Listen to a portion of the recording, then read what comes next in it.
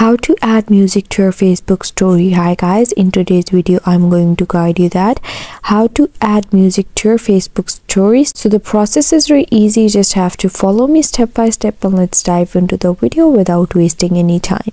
So first you have to come to your facebook app and here you have to click create story. And then here you can see there's this option of adding music. Simply click this option and then you can choose any music over here that you want to add. And then you can simply just add it by clicking the music. Once you click the music you can add it.